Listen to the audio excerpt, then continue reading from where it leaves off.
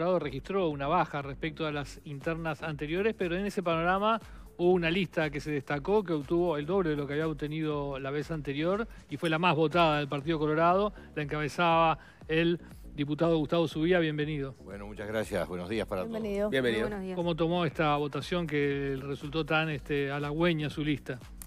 Bueno, lógicamente con alegría, un buen resultado. No estaba previsto por el descenso de los votos del partido, así que un incremento en el momento en que el partido desciende la votación es bienvenido. ¿Se arrepintió de haberse bajado de la candidatura presidencial? Porque capaz que podía ser presidente. No, para nada. Podría ser presidente en el futuro. Candidato, ahora ¿no? Candidato. Quedaba como candidato. No, no, para nada, al revés. Me felicito. Ajá. Todos los días me saludo y me felicito. Digo, qué inteligente. Fue una jugada inteligente. Con un problema de ego lamentable, porque tuve que convencer a mi ego y mi ego se quejaba. Y decía, no te bajes, no te bajes.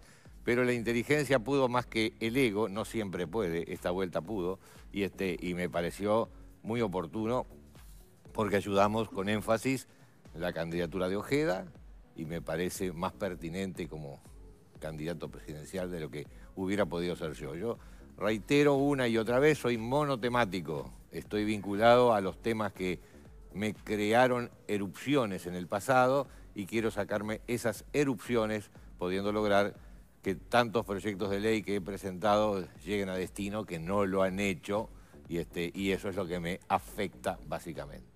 A propósito, contento. a propósito de eso, su, su bajada de la precandidatura fue en el contexto donde decía que había que, lo voy a parafrasear, usted me corregirá, eh, cerrarle el paso a eh, la centroizquierda dentro del, del Partido Colorado, la centroizquierda en particular, usted había apuntado entre esos temas que le generaban erupción a algunas de las medidas de seguridad de la candidatura de Robert Silva, que ahora no solo está en la fórmula, sino que además Ojeda, incluso ya a partir de que usted se incorporó, decía que su plan era que Sanjurjo, que es el, el- el ideólogo de buena parte de las medidas de seguridad de eh, Robert Silva, congeniara con, usted en las medidas de seguridad del, Partido Colorado. ¿Usted eso cómo, lo ha visto? ¿Cuánto este, margen para el diálogo y la negociación hay entre su mirada y la mirada de Sanjurjo?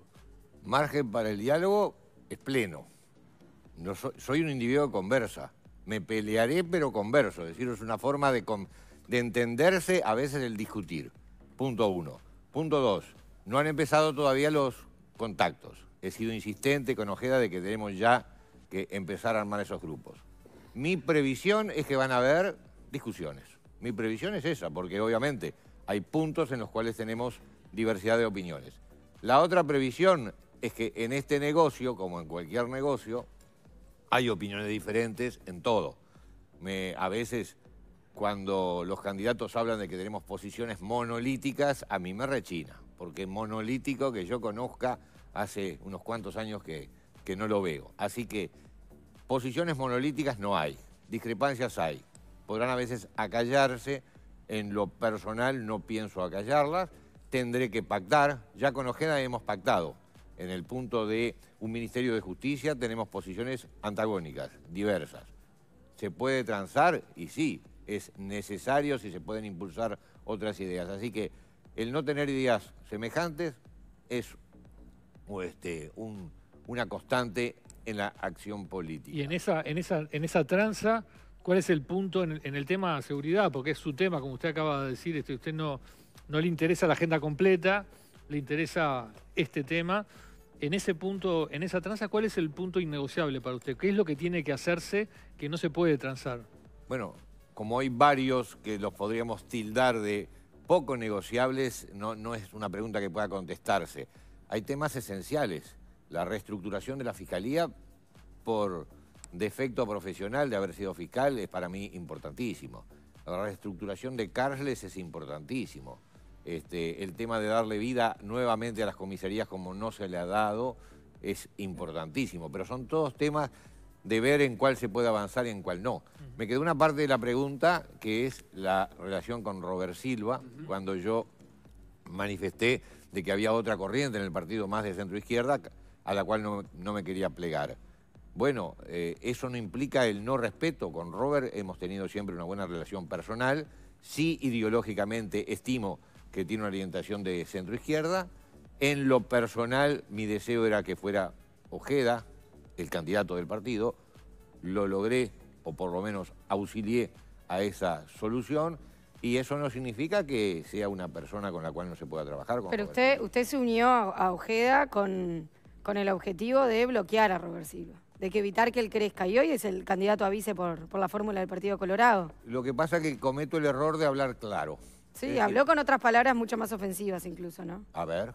Zurdaje, no le decía que era el zurdaje. No, no, no. Empezamos con los problemas de los zócalos, ahora me van a sacar surdaje. Jamás he No, utilizado esa terminología, jamás. No, no, pero no empecemos con los problemitas. A, a mí me encanta venir con ustedes justamente porque hay discusión. Pero las discusiones... ¿No le parece que tuvo una actitud ofensiva con Robert Silva durante la campaña? Usted no tuvo una actitud No, ofensiva con Robert pero es que no es mi estilo. No. Es el estilo de, mi estilo es combatir, pero no ofender. Así que surdaje bajo ningún concepto lo dije. Bien. Hablé de una orientación de centro izquierda, es totalmente respetuoso. No entiendo por qué los agravios, no entiendo que alguien se sintió ofendido. Lo, lo que, lo que se entendía era que dentro de una interna de un mismo partido eh, era raro generar o tratar de generar una especie de, ahora que está de moda el término, cordón sanitario hacia la centroizquierda. O sea, bloquear dentro de la interna de un partido un, un espacio en... en Déjeme que le abra los brazos para así Sí. la imagen sale. ¿Y por qué no le hacen esa pregunta al Partido Nacional, que en este momento se encuentra con ciertas dificultades vinculadas a las orientaciones Se la hacemos, ¿eh? Se la hacemos también. Ah, bueno. Eh, claro. Es decir, no es un fenómeno para nada raro. A ver, el problema es decir, yo hago alianza con B para impedir de que C salga. ¿Eso qué? ¿Es un agravio para alguien? Es la más lógica de las actitudes desde hace 4.000 años, desde que, los, desde que los griegos estaban levantando el dedito. Es lo más lógico, aliarse con alguno para impedir que otro... Ahora, cuando eso se dice, siempre volvemos al problema de hablar y hablar claro. Cuando eso se dice, causa molestia. No, sigo manteniendo lo mismo, el respeto por la figura de Robert, por sus asesores, la eventual discusión que tendrá que plantearse cuando impulsemos nuestras ideas, el resultado que capaz que no es el 100% halagüeño para mí, como suele suceder cuando hay que aunar ideas, y para nada el irrespeto, simplemente una estructura de poder, como son las estructuras políticas, para las cuales busqué la alianza con Ojeda. Ojeda justamente estos días ha, ha dicho ¿no? que, que ya va a empezar a trabajar el equipo de seguridad, en el que va a estar usted, también va a estar la doctora Fossati, ex fiscal. Exacto. Eh, ahí siente que la, la incorporación de Fossati al Partido Colorado y puntualmente al equipo de seguridad en el que van a trabajar juntos refuerza o puede reforzar estas este, ideas suyas sobre las de Sanjurjo, por ejemplo. Estimo que sí, pero no puedo poner las manos en el fuego. Con Fossati, como dije el otro día, hemos tenido las más hermosas discusiones, Sí, con el respeto personal, pero hermosas discusiones, más de una hora de discusión intensa, no como con ustedes que, que obviamente me tratan muy bien y siempre vengo muy Ah, agradable. ella no lo trataba bien. No, y cuando una discusión es intensa de una hora, no es que se traten mal las personas, es que genera adrenalina. No, no pone Una- las manos en el fuego por Fossati, entonces. no, no, no. No pongo las manos en el fuego porque todo devenga en términos pacíficos. Ajá. Eh, tenemos una gran sintonía con Fossati. ¿Y de No, qué discutían tanto? pero- Perdón, que, que, que de- no, déjeme- abrió esa puerta. No, ¿no? déjeme terminar la frase Sí, porque claro. quiero eh, el concepto entroncarlo. Enorme respeto, enorme respeto por las posiciones que ha asumido y cómo ha sido objeto de ataques, pero reconocimiento de un hecho histórico que es no siempre hemos coincidido, hemos discutido. Así que espero que podamos coincidir. Si no coincidimos, esto va a estar hermoso. Divertidísimo. Ah, va a estar hermoso. ¿Por qué pero pienso que sí, pienso que vamos a coincidir. Tenemos muchos puntos en común, tenemos una historia común dentro de Fiscalía y tenemos, lamentablemente, una experiencia dificultosa en la gestión del ex fiscal de corte, Jorge Díaz, con quien estuvimos en discrepancia ambos por temas vinculados a lo ideológico. Así que espero que haya una concordancia. Me alegra la llegada de Fossati, porque es una persona que sabe, así que me alegra. Y, este, y lo que decía era más una ironía en el sentido de que devengamos por caminos de paz, que son los más aburridos. Lo más interesante es poderse, poderse expresar. Pero, pero me queda la duda de por qué discutían tanto, sobre qué tema discutían una Ah, hora. sobre temas administrativos, en oportunidad de haber estado en la Fiscalía de Maldonado ambos, Lo que pasa es que la gerencia de la Fiscalía iba rotando año a año entre cada uno de los fiscales. Entonces, imagine usted que cuando rotan esas gerencias, la administración, hay temas que son a veces discutibles, pero siempre con un enorme respeto de su condición de, de buena persona y su capacidad para enfrentarse a los camiones de frente.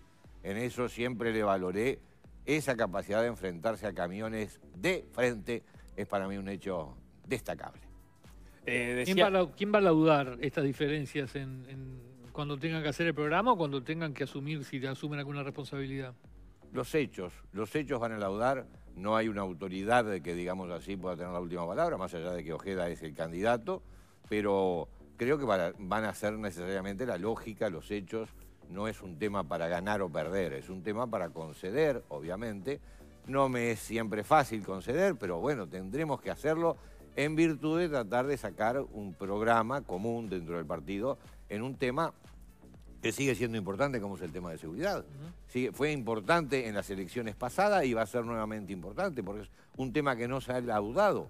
Ustedes me han sentido más de una vez ser muy crítico con el frente, pero ser muy crítico también con el, el, actual Poder Ejecutivo en la conducción del tema de seguridad.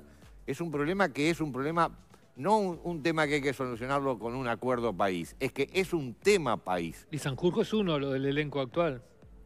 Es uno del elenco, pero el elenco es numeroso. Es numeroso, pero es, Sanjurjo numeroso. Es, es importante. Es importante, pero algún botito, ahora me va a permitir una pequeña malicia. La primera malicia de la mañana. Algún votito más hemos sacado y espero que sea respetado un resultado electoral. Sí. Un resultado electoral. Como, eh, Después eh, está, digamos, el, el camino eh, que marca el calendario electoral y allí eh, algún votito más también sacó el Partido Nacional, que es quien tiene todas las de eh, ganar y participar en el, en el balotaje por la coalición, con la foto de hoy. Y ahí eh, Álvaro Delgado, eh, digamos, el socio político es el propio ministro del Interior Nicolás Martinelli y los anteriores, ¿no? La prueba está que este gobierno ha sido conducido por un poder ejecutivo blanco. Un ministro del Interior blanco, otro ministro anterior blanco, el fallecido Larrañaga Blanco. Es el poder ejecutivo. Y por eso hemos tenido desacuerdos, yo tengo desacuerdos profundos con la conducción de los últimos años del Ministerio. Me, me, me quedó una duda de algo que, que, dijo al pasar. Ustedes tenían con Ojeda diferencias a propósito del el, Ministerio, el de Ministerio de Justicia. Ahí eh, es una idea que aparece en, en, en, varios programas. No en todos los programas o no todos los candidatos lo manejan con las mismas atribuciones, este, entienden que deben tener las mismas atribuciones. En el caso de ustedes, ¿cuál era la diferencia y cómo la saldaron? Es una diferencia conceptual, no fue saldada, es decir, expresamente en el programa conjunto que establecimos dijimos que en ese punto, hay discrepancias. Mi posición es que crear un Ministerio de Justicia es crear una estructura burocrática por encima de estructuras burocráticas que no están funcionando.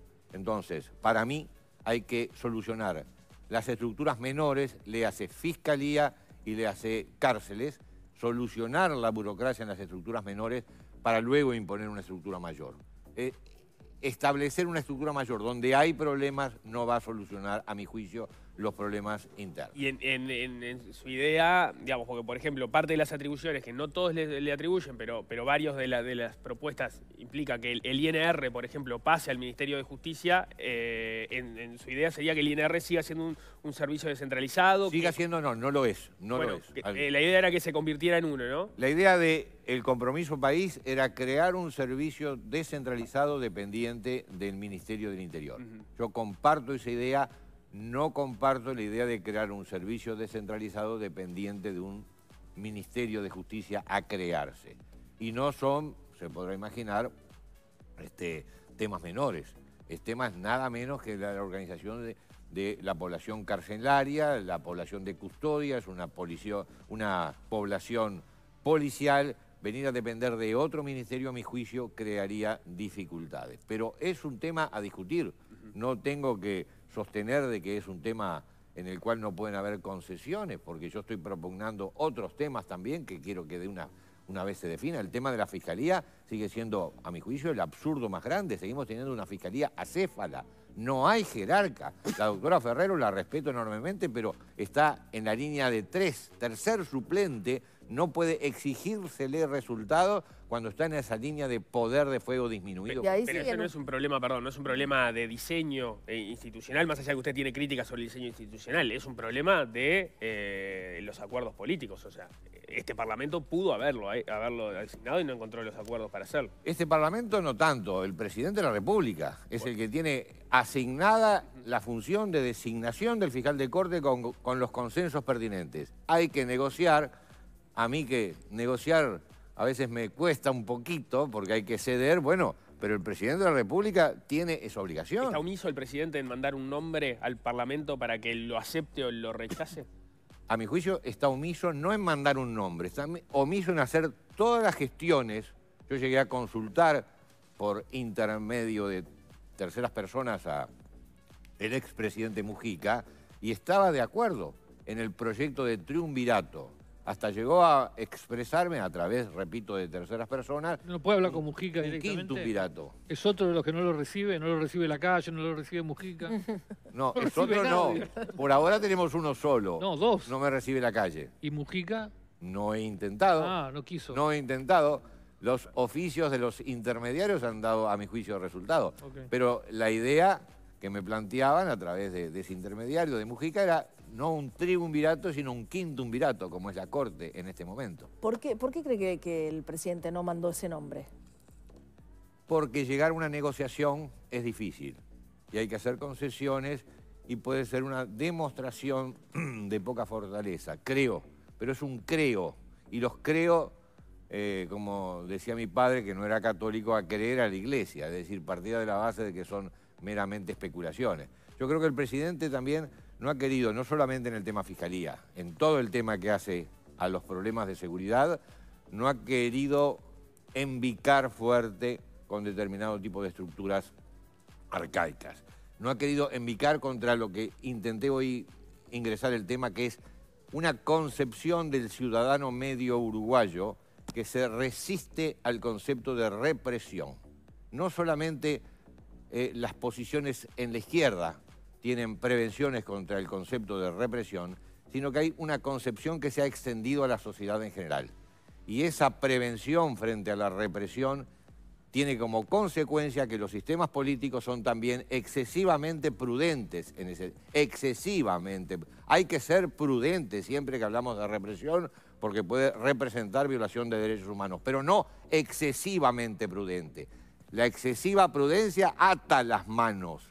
Yo estimo de que hay una especie de extensión de esa prevención excesiva, prudencia excesiva en la ciudadanía Pero, frente al tema. ba- ba- bajando a, tierra eso en términos concretos, ¿qué quiere decir? Es esa idea que usted ha mani- manifestado otras veces de que eh, esperaba que hubiese, por ejemplo, o que no veía tantos enfrentamientos entre policía y delincue- delincuentes. O sea, Eso es ¿cómo, cómo se baja a tierra Bajándolo muy a tierra, vamos por ahí, vamos por ahí.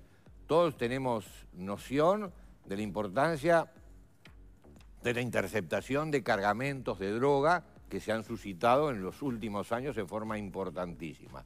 Sin embargo, no tenemos concepción de los enfrentamientos agresivos con los delincuentes que están en ese acto, están en la, en la elaboración y distribución de la droga.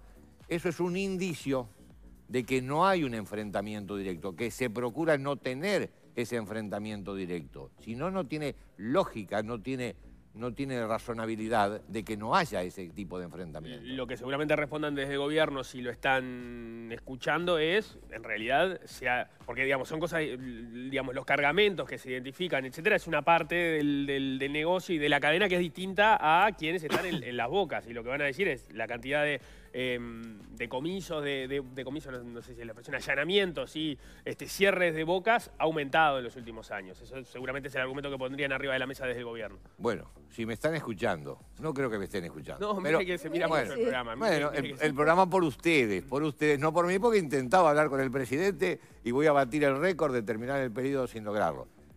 Lo que apunto, da para la discusión, pero ¿tiene sentido que estemos incautando celulares hurtados y que no tengamos enfrentamientos con quien ha hecho el hurto de ese celular? Y ojo, una cosa es un celular y otra cosa son cargamentos de millones de dólares. ¿Tiene sentido?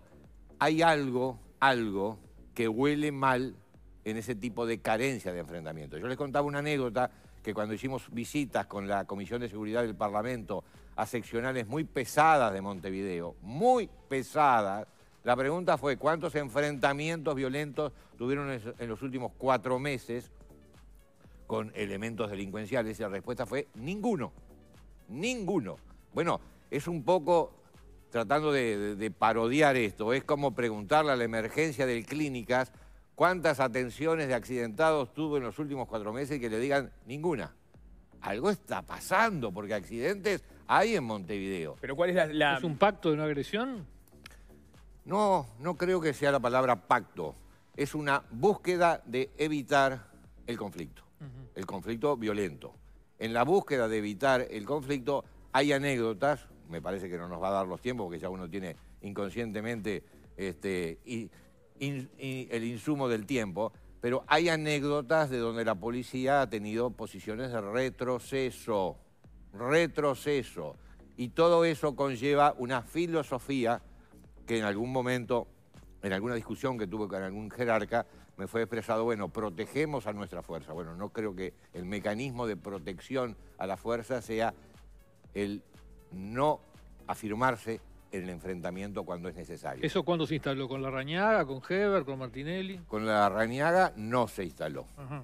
a partir de que el fallecimiento de la Rañaga, ya conocen mi forma de razonar, yo valoré enormemente la acción de la Rañaga, una, una disminución de delitos, no es imputable a la pandemia porque en otros países los delitos crecieron y además no tiene sentido, permítanme un ejemplo repetido, que el rapiñero por la pandemia y por no contagiarse no asaltara la estación de servicio y las rapiñas bajaron enormemente. Hubo una gestión de la Rañaga que tuvo capacidades emocionales. No había gente en la calle, lo que pasa, ¿no? No había, ¿Cómo? tant- no había tanto material para rapiñar porque no había gente en la calle. ¿no? Por favor. Eso es como, yo pinto, ¿sabe usted? Y es como decirme, no, hoy día nublado no puede. Se puede pintar hasta de noche. Y hay cuadros hermosos. Así que material humano es para... rarísimo el ejemplo que puso, ¿no? ¿Eh? Es rarísimo el ejemplo que puso. ¿Se puede pintar de noche? No, no, por supuesto que se puede pintar de noche, pero es verdad que es más difícil rapiñar sin gente que con gente. Pero no me digas sin gente. Yo seguí saliendo a la calle en forma normal. Y ustedes venían a hacer el programa también, que con sí, un tapaboca. claro, Pero es que no es que desaparecieron las rapiñas, es que bajaron. Baj-. Pero bajar a la mitad. A ver, yo le pregunto.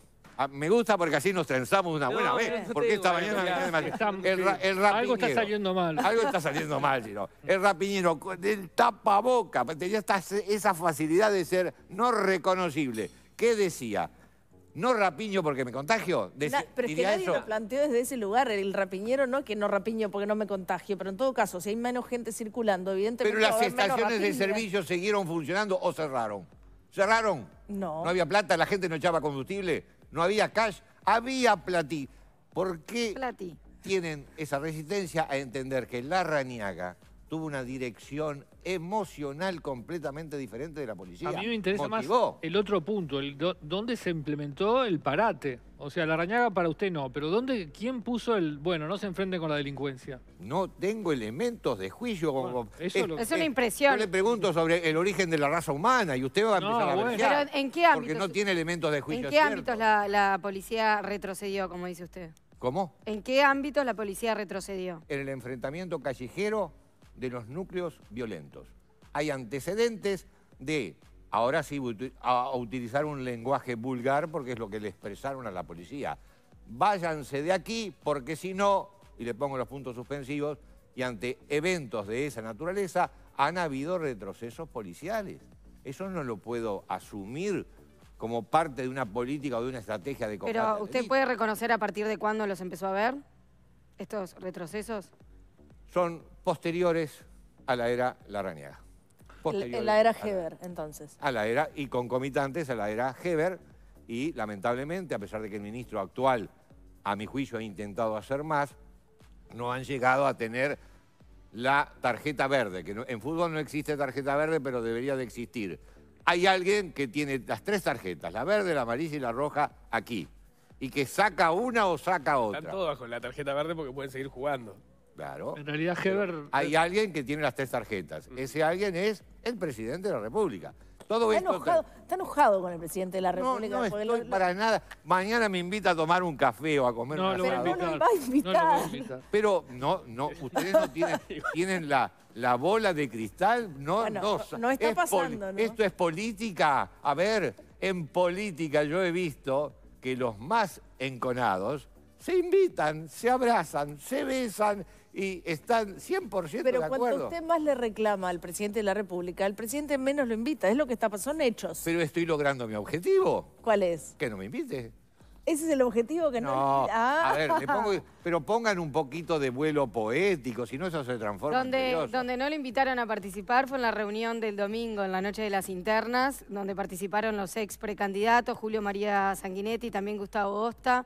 Había una, una crónica del diario El País que dice su vida quedó con la ñata contra el vidrio porque le cerraron la puerta en la cara. En un azul de frío, como dice el tango. ¿Le ofendió? ¿Que no La lo haya crónica- considerado? ¿Ofenderme? No. Bueno, usted tenía la pretensión de entrar. No tenía la pretensión. Partí de la base que habiendo entrado quien fue dos veces presidente de la República, un estadista de primer nivel como es el doctor Sanguinetti, pero con vinculación a uno de los candidatos, ¿cierto? Era posible que entrara otro con vinculación a otro de los candidatos que había hecho su esfuerzo pertinente. Entonces, en función de esa articulación, yo hice el razonamiento de que fue incorrecto inhabilitarme el ingreso. No participó en ninguna otra instancia donde se perfilaba la fórmula presidencial, ¿verdad? En ninguna Parti- otra reunión. En otras reuniones sí, hemos participado ahora en el SEM, se le dio la bienvenida a la fórmula. No, no, digo a priori, antes de que se definiera que iba a ser eh, Robert Silva el vice. Hubo conversaciones, hubo conversaciones. ¿Usted a quién sugería? Porque imagino que a Robert no. Sí, a ver, a ver si nos entendemos. Estamos en lo de hoy. Es política. La emotividad, en mi caso, no está en primer lugar. Más allá de que cuando nos peleamos, nos peleamos con intensidad. La razonabilidad está. Robert sacó la segunda ubicación en el partido. Altamente elogioso integrar la fórmula con él. Las divergencias ideológicas que podamos tener quedan en segundo plano.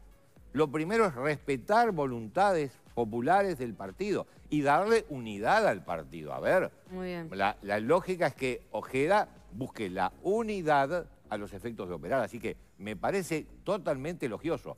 Discrepancias ideológicas, por supuesto, puedo tener, como puedo tener con varios. Discrepancias ideológicas, como tengo con el presidente de la República, y pese a eso sigo integrando la coalición. Es como la familia, usted tiene el tío que mm, tiene objeciones a su conducta y sin embargo lo trata y hasta lo besa. Bueno, también aquí algo semejante Bien. pasa. Lo llevo de vuelta al tema de las diferencias con el Ministerio del Interior y, y le pregunto su opinión sobre este tema. Usted sabe que el Ministerio encargó un, un análisis de los datos este, sobre el origen de los asesinatos que hay, los homicidios, a un sociólogo, Emiliano Rojido. Ese otorgó una sorpresa en el sentido que disminuyó mucho, según su análisis, que se basó en el año 2019, la cantidad de homicidios que él le adjudica a las bandas de narcotraficantes los homicidios que este estudio le encontró, adjudicó a las bandas, es apenas 1,9%, le suma un 9,1% de otros asesinatos, homicidios vinculados al narco. En total, ambas categorías, 11%. Un número sorprendentemente bajo para lo que ha sido, bueno, el discurso oficial hasta este momento. El observatorio, el director, este, el otro sociólogo Javier Donangelo, respondió con otro informe criticando el estudio de Rojido y reivindicando las cifras del observatorio que citan o, que otorgan una prevalencia entre cin- 40 y 50% a los asesinatos que tienen que ver con, con temas de bandas narcotraficantes y, y el narcotráfico. ¿Cómo se para usted ante esta, esta polémica? Con escepticismo, porque todo depende del cristal con que se mira. Todo depende del criterio con que se mira. Hay, evidentemente, falta probatoria en numerosos homicidios para decir efectivamente 100% confirmado de que sea problema entre bandas. Sin embargo, hay inferencias que uno saca. Inferencias subjetivas, y sí, Bueno. nos manejamos por inferencias subjetivas en, en todo este planeta. Rojido le achaca al observatorio tener en esos casos dudosos un criterio muy débil para llevarlo al tema del- de las bandas. Bueno, yo sería mucho más eh, prudente eh, en cuanto a criticar al observatorio por su razonabilidad en cuanto a que los homicidios son productos de enfrentamientos entre bandas. Determinados procedimientos que se usan al matar a una persona dan cuenta o permiten inferir quién es el que está atrás de ese homicidio. Yo me manejo por ese criterio subjetivo. Del punto de vista objetivo, los datos ustedes saben que se pueden manejar de tal forma. Los números no mienten, decía algún famoso, algún famoso y, conocido uruguayo, pero la interpretación de los números, usted puede demostrar que no tiene, no sé, usted tendrá 30 años, 35 años, usted, puede demostrar, usted puede demostrar que tiene 18 si se pone a hacer números, lo puede demostrar, así que no comparto en principio esa catalogación tan baja para los homicidios productos del narco, creo que tiene razón el observatorio en cuanto a inferir, pero claro, si nos ponemos exquisitos, no tenemos los elementos probatorios para decir si efectivamente son. Ahora, los 15 disparos, los 15 o 20 disparos que operan sobre una persona con antecedentes penales en situación de estar en el frente de su domicilio, a mí me permiten inferir subjetivamente de que hay ahí un tema de ajuste de cuenta, de combate por territorio, de eliminación de la competencia y otra inferencia por falta de datos me parece que no es. Pero puede haber una jugada política de dado que se ha solucionado, solucionado no, pero ha bajado, el, lejos de solucionarse, pero ha bajado el número de rapiñas, ha bajado el número de hurtos, pero con los homicidios no se puede, siguen subiendo. Entonces hay una jugada de disminuir el peso del narco, tratar de decir, bueno, no es este... O sea, no pudimos con no, No, puedo, no puedo. Eso, eso sería realmente ser muy imprudente. Es decir, hay una jugada yo lo que estimo es que son datos que se analizan en forma diferente. Obviamente pueden llevar agua para distintos molinos, obviamente, pero no tengo capacitación para decir en este momento hay una jugada.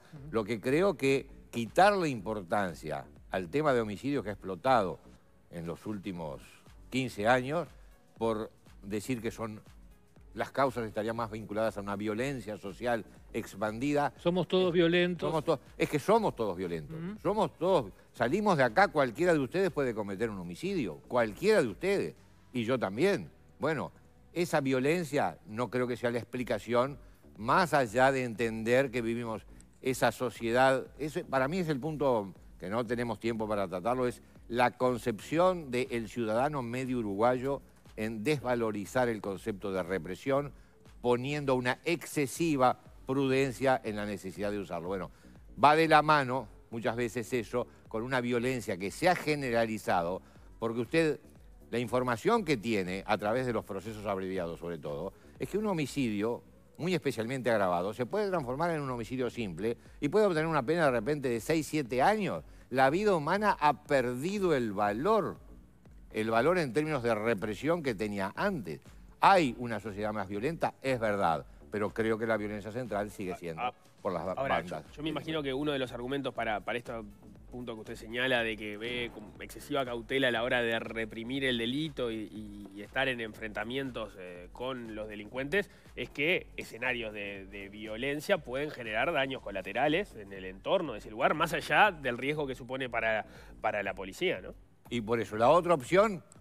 La otra... Me pregunto si, las otras opciones no, van por el lado de la inteligencia policial o, otro, o, actuar en determinados momentos sin la necesidad de entrar en Pero ¿dónde Por más inteligencia policial que usted ponga, por más inteligencia que usted ponga como docente al dar una clase, si no pone la firmeza de la autoridad de quien está dando la clase, la cosa se le va. Pero, por ejemplo, eh, hace unos días conversábamos con Fagundes, que está encargado de la división de tecnologías del Ministerio del Interior, y él hablaba del ShotSpotter, esta nueva tecnología que se ha instrumentado, una especie de software con sensores en distintos barrios que permite identificar los tiroteos eh, cuando están ocurriendo con bastante precisión y eventualmente llegar antes a los lugares donde están ocurriendo ese tipo, ese tipo de hechos, pues ya no hay que esperar que alguien llame, que hay un tiroteo, que explique más o menos la zona, etc. Usted entiende que ese tipo de estrategias no han dado lo que deberían dar, que son eh, mayor cantidad de enfrentamientos, por ejemplo. Mayor cantidad de enfrentamientos, no por el enfrentamiento en sí, sino por la imposición de la voluntad del Estado en todos los barrios de Montevideo. La pregunta que yo hago hoy, como hacía en el pasado, ¿hay autoridad plena del Estado en todos los barrios de Montevideo? Mi respuesta es no. Hay barrios que están por fuera de la autoridad del Estado en determinados horarios, sobre todo. Usted tiene la información de que hay un tiroteo. La pregunta es, ¿hay capacidad, hay inteligencia policial para hacerse presente durante ese tiroteo y poder aplicar las medidas de coerción necesarias? El Estado tiene que tener la coerción necesaria para controlar su territorio. Nosotros tenemos territorio no controlado. Y esto lo digo desde la coalición. Y muchas veces, obviamente, no agrada. Pero pongamos los puntos sobre las sillas. No vine a esta actividad para seguir repitiendo versos. ¿Esto significa que estemos peor que con el frente? No. Estamos mejor porque han disminuido una cantidad de delitos y no hemos llegado a los picos que llegó a tener el frente en 2018 con 420 homicidios. Ahora, ¿significa que estemos bien? No. No hemos cumplido, que me lo traigo siempre, no hemos cumplido el compromiso país. El compromiso país que habla de la fiscalía, habla de las cárceles, habla de las seccionales, habla de incrementar la republicana, pero no centrar toda la esperanza en la republicana. La republicana no es Jesucristo. La republicana es una fuerza de choque, pero si no está utilizada con esa inteligencia que está faltando, no es la solución final. Es linda para decir, queremos republicana porque la gente imagina que puede haber mecanismos de enfrentamiento más eficaces, pero con la republicana solo esto no camina. Con la foto de hoy, el, el candidato a presidente de la de la coalición sería Delgado. Si eso sigue así, ¿el Partido Colorado tiene que pelear por tener la gestión de seguridad? Es decir, el Ministerio del Interior. me parece una pregunta que tiene una parte no dicha y es, ¿usted tiene alguna esperanza de? Parecería una pregunta. Primero me contesta El Partido Colorado tiene que buscar, y yo voy a intentar primero dentro del partido y luego seguir manifestando hacia afuera del partido, tiene que buscar imponer su impronta en estos temas. Mm. El Partido Colorado en estos cinco años no ha puesto su impronta, a pesar de que había un diputado que gritaba por ahí y lo teníamos medio alejado porque grita demasiado. Bueno, tiene que buscar esa impronta. Si llega en esa impronta a obtener un ministerio, en el caso del Ministerio del Interior, va a ser un mecanismo. Lo, que pasa es que su impronta no es la que reina en todo el partido, ¿no? La impronta subía, está claro eso.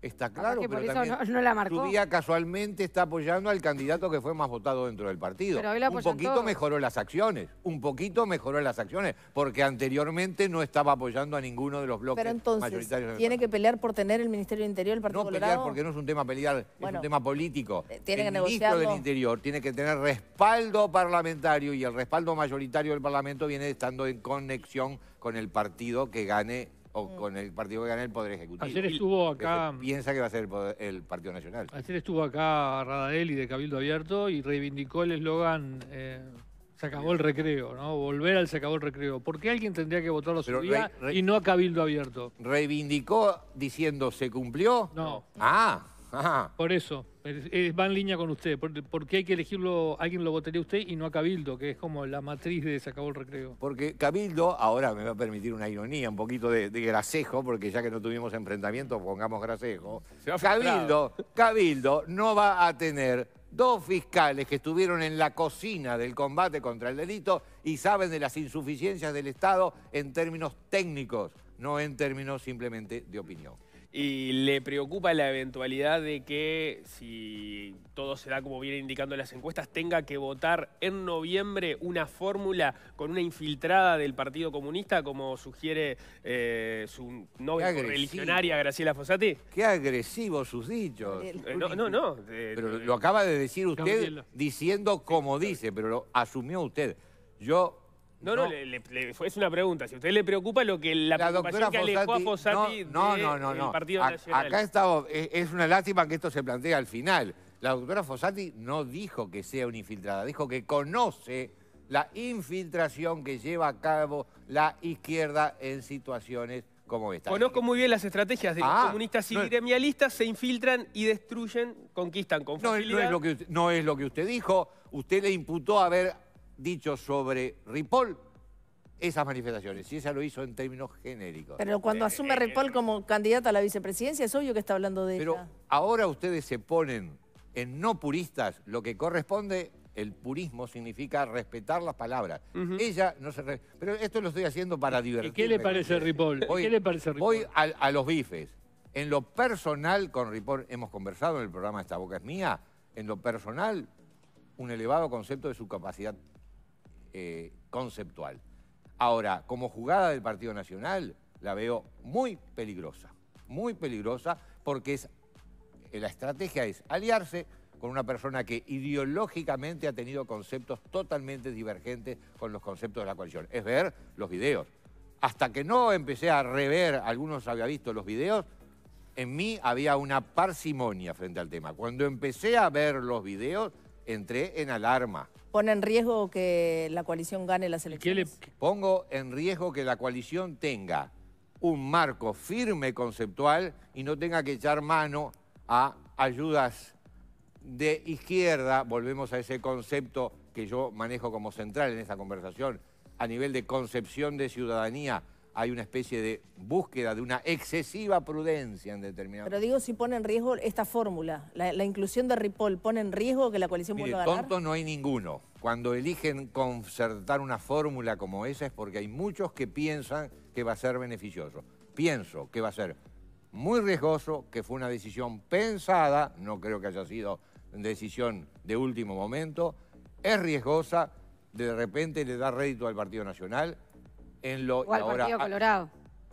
iba a hacer esa apreciación política. Yo aviso cuando hago apreciaciones políticas. Al Partido Colorado le puede ser beneficioso porque puede haber un votante más conservador dentro del Partido Nacional que diga quién es el que tiene ideas más de centro derecha y puede ser este humilde servidor que dentro del Partido Colorado Si- está si tratando. Robert Silva es centro izquierda, Ripoll ¿qué es?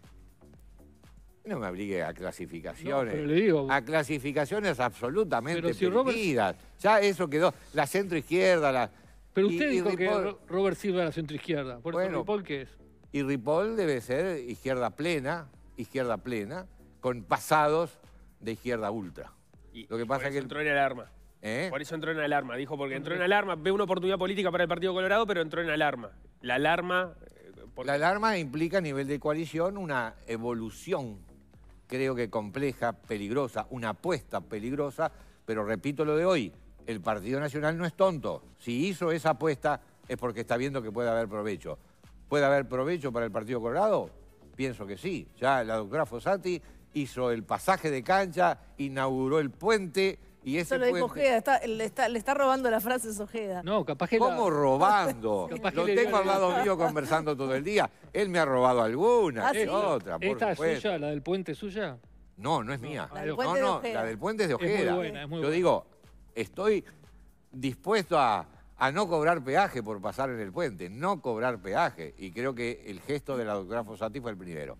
Le repito una frase mía, que para mí todos estos temas los entra. Con el frente estábamos con 43 grados de fiebre. Con la rañaga bajamos a 39. Luego de la rañaga, los ministros del Partido Nacional han hecho que la fiebre ascendiera nuevamente a 41 grados de fiebre. Estamos mejor, pero estamos con una fiebre muy alta y estamos no tomando las medidas firmes que se pueden tomar, pero tienen costo político. Y muchas veces se evitan para no pagar ese costo. ¿Quiere político. ser ministro del Interior, Subía? ¿Quiero? Quiere. No, no, no quiero.